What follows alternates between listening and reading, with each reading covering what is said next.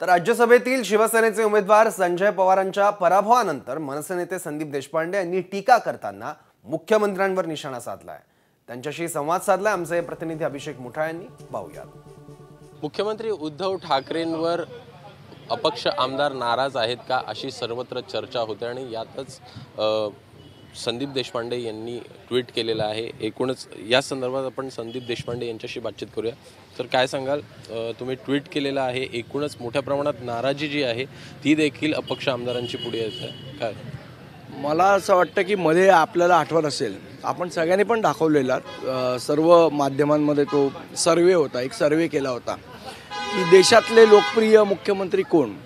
आणि मग त्याच्यात पहिल्या पाचात उद्धव ठाकरे मग कुठल्या सर्वेमध्ये तीन नंबरवर उद्धव ठाकरे मग कुठल्या सर्वेमध्ये एक नंबरवर उद्धव ठाकरे साहेब असे ते सगळे सर्वे होते.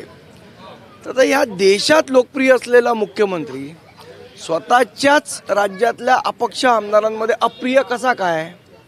मग तो सर्वे खरा होता का आत्ताची वस्तुस्थिती खरी आहे? असा प्रश्न लोकांना पडलेला आहे. की अख्ख्या देशात सगळ्यांना खुश केलं पण स्वतःचेच आमदार नाराज कसे काय? मला असं वाटतं ह्याचा विचार करण्याची वेळ आलेली आहे. आणि राज्यातली जनता तर त्यांच्यावर नाराज होतीच ज्या पद्धतीने पूर्ण अडीच वर्षात परिस्थिती हाताळल्या गेली.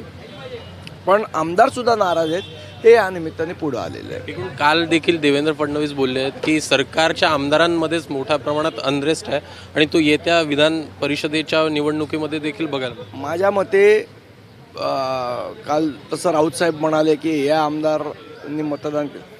आता जर खरोखर महाविकास आघाडीमध्ये हिंमत असेल तर शेपूट न घालता त्यांनी विधान परिषद लढवावी.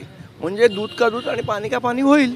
एक काल अ, संजय राऊतांकडनं काही अपक्ष आमदारांची नावं देखील घेण्यात आलेली आहे अ, तुम्हाला असं नाही वाटत या याच्यामध्ये मोठ्या प्रमाणात उल्लंघन जे आहे अ, आयोगाचं त्या याच्यात नियमांचं उल्लंघन देखील होत आहे कुठेतरी? नाही एक तुम्हाला सांगू. संजय राऊत कधीच चुकीचे नसतात. म्हणजे डब्ल्यू एच ओला सल्ला देणारे कंपाऊंडर आहेत ते. त्यामुळे ते चुकीचे असू शकत नाहीत संजय राऊत. एक वेळ तुम्ही चुकाल मी चुकीन बाकी अख्खी महाराष्ट्रातली जनता चुकेल. पण संजय राऊत कधीच चुकीचं बोलणार नाहीत ते कधीच चुकीचे नसतात. चुकीचे बाकीचे लोक असतात. संजय राऊत नेहमी बरोबर असतात. एकूण घोडे बाजाराचा देखील आरोप जो आहे तो वेळोवेळी अ, भाजप अ, वर करण्यात येतो आहे शिवसेनेकडनं. काल देखील मोठ्या प्रमाणात या संदर्भात देखील शिवसेनेकडनं भाष्य करण्यात आलेलं आहे. येत्या विधानसभेमध्ये देखील अशाच प्रकारचा अंदाज जो आहे तो वर्तवला जातोय. काय सांगा मला माहीत नाही की घोडे बाजार झाला की नाही झाला. मुळात विषय असा आहे घोडे बाजाराची संधी कधी उपलब्ध होते जेव्हा कोणतरी तुमच्यावर नाराज असतं त्यावेळेला. तुम्ही अडीच वर्षात लोकांची कामं केली नाहीत लोकांना भेटला नाहीत लोकांचे फोन उचलले नाहीत. म्हणजे अपक्ष आमदार तर सोडा स्वपक्षीय आमदारांचीच ही तक्रार होती. त्यामुळे अशा पद्धतीचा कारभार हाकलल्यानंतर मग घोडेबाजार होतो किंवा काय होतो एक वेळ आपण वादासाठी मान्य केलं समजा की घोडेबाजार झाला. पण घोडेबाजार करायलासुद्धा करायला सुद्धा माणसं लागतात गाढवांची कामं नाही आहेत ती. तर एकूणच मोठ्या प्रमाणात सरकारच्या आमदारांमध्येच नाराजी आहे. सोबतच या संदर्भात भाष्य जे आहे ते आता संदीप देशपांडे यांनी केलं एबीपी माझा उघडा डोळे बघा नीट.